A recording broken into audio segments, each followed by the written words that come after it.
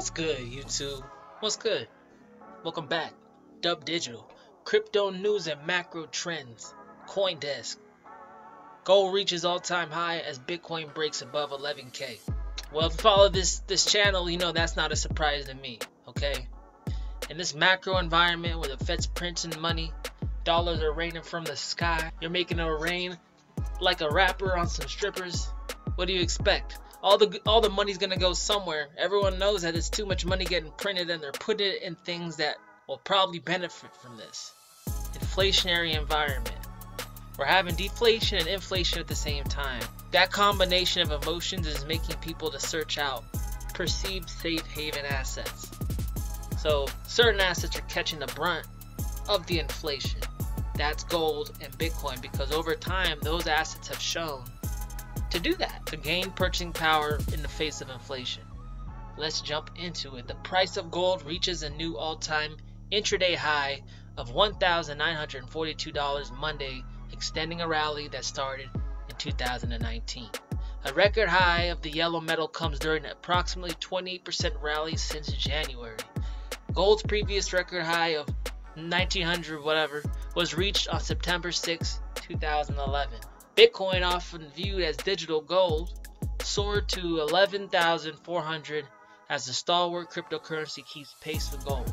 Bitcoin gained more than 13% over the past 24 hours. That doesn't matter because you're going to listen to this when you listen to it. Alright, quick piece. I like to make more of a kind of a commentary video here. So what do we know about the economy? Being macro investors first, not just crypto, everything considered to increase your chances of success? What do we know about the macro environment? Is this an environment that Bitcoin and gold can grow? I would say hell to the yeah. Look, everyone thinks that there's going to be a stock market crash.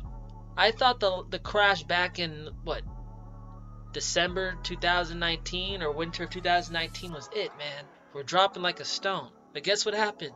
The Fed came in and printed some headline. They just printed some crap, said some things like, oh, we're going to help out.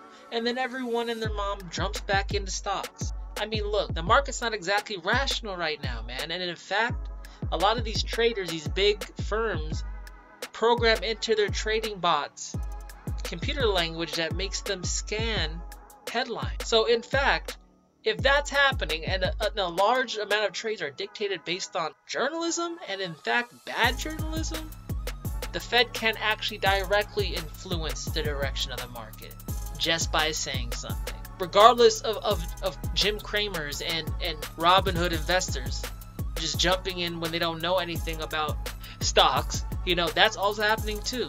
The market can stay irrational longer than you can stay solvent. Remember that. Everyone's thinking the stock market's gonna drop. But the Fed saved it last time. And the Fed keeps saying, we're gonna print unlimited money. Don't trip. Stock market drops, I'll buy that. Housing drops, I'll buy that. I'll buy that, I'll buy that, I'll buy that, I'll buy that, I'll buy that. That's what Jerome Powell sitting over there in the Fed He's like, yeah, I got you, Oz. I got you. I got you. You, you, you lost some money? I got you. You don't want to be accountable? I got you. I got you. Because this is America. United Socialism of America. Remember this, guys. They're not just really nice dudes. They're one, printing your currency away, which means that what you have in the bank account will buy less, guaranteed, next year. Remember that. And also, two, it's not given to the United States. Federal debt printing is a loan to the United States. Who pays loans to the United States? You and me, via taxes. So not only are you going to get hit with inflation, but your taxes are going to go up. Not financial advice. But seriously, look, in this environment where your money is going to go down in what it can buy, less your money can buy less and less food.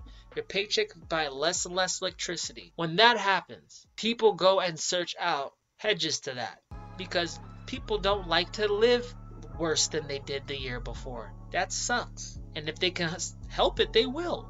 And the things that have provided the most inflation hedge has been gold over that period of thousand years and Bitcoin over a period of 10 years. Um, so yes, stocks should and can fall, but I think we still have a ways to go before that happens. I think there's a lot of upside, not financial advice, to your own research, take your own risk. a lot of upside in the stock market. Doesn't mean I'm in it. Actually, I'm not in it at all.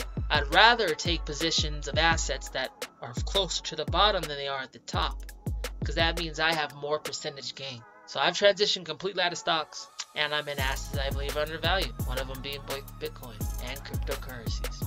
Short one for y'all, but this is something to keep in mind. Look, gold futures are pushing all-time highs. Once it passes that, we're in price discovery for gold. Gold will be hitting new all-time highs.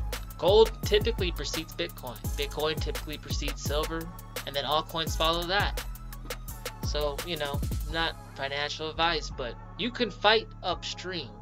You could swim, you could run uphill, or you can just walk downhill to the beach and kick it. There's a lot to be said with just going with the flow, man, and realizing when there's a time to be defensive and a time to be aggressive. And it has to be in the right asset classes. We'll get into that later because I'm Dub Digital. Crypto news and macro trends. Keeping up to date with all this hot, hot fire. Peace.